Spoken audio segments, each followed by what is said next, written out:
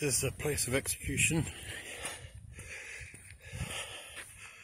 I'm not sure how many people were executed here, but I believe it's to be around this spot here.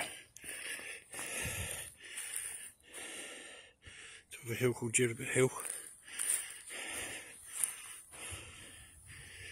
Yeah, I think it was about here where they did the executions. To be hanged around the spot.